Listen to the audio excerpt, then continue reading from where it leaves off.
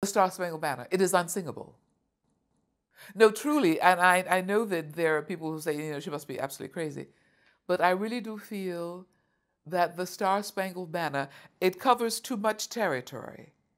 That is an octave and a fifth.